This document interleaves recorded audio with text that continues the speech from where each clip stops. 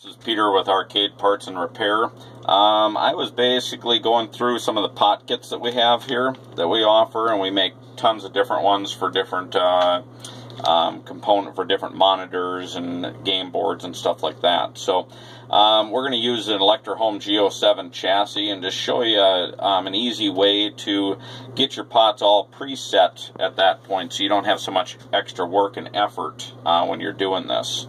So what we're going to do is, is basically we're going to pull one of these pots out and actually show you how to do this. Um, this works with most um, most of the half watt and smaller pots. Um, the wiper leg here, uh, the, the wiper leg to the outside leg, whatever the reading is there, if this is a 5K pot, which it is, um, if I measure 3K on the wiper to this outside leg, I'm going to measure 2K on this side. So whatever I increase over here is going to decrease over here and vice versa. So that way, um, relative to your uh, pot value at that point.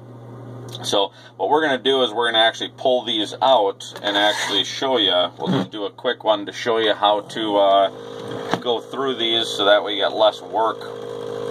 Monitors require a lot of extra work when you adjust these because your option then is to install them to like a mechanical center.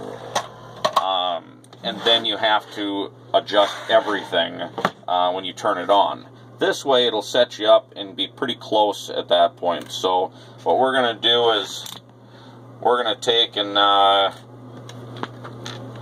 measure this existing pot. So now, if this is installed this way, we're going to measure the left side. Doesn't matter if you measure the left or the right. Um, it's just you have to do the same on the new pot, so that way you got the right setting at that point. So we're going to see what this originally was.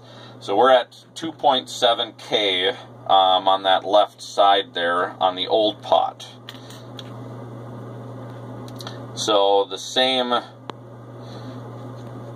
leg over here and the wiper we're at 5.1k so we're going to actually um, turn that down and we're adjusting it down to the 2.7 and we don't have to be exact but we're just going to put it 2.7k so now when we install this into the chassis um, it will basically already be set up fairly close. So all you have to do is kind of fine tune things. And you'll do that for every one of these. So then when you power it up, and if you're going to do the neck board, which I've already done, um, you'll basically do the same thing there. Now these pots, the nice thing about these pots, I haven't seen any vendor that actually has for the G07.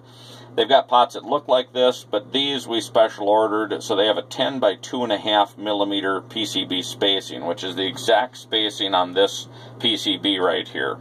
Um, everybody else is using a 10 by 5, so you have to squeeze the leads together, which shorten them up, and then everything mounts tipping forward like this because that lead is shortened up from having to be bent in. So it's kind of uh, nothing lines up straight at that point. So we went ahead and ordered the correct ones that fitted exactly. So this is just, like I say, just a quick thing where you just go through and you'll do every single one of these, the neck board, whatever pots you're replacing, whether it be a, um, a remote PCB, um, remote adjustment PCB or anything like that.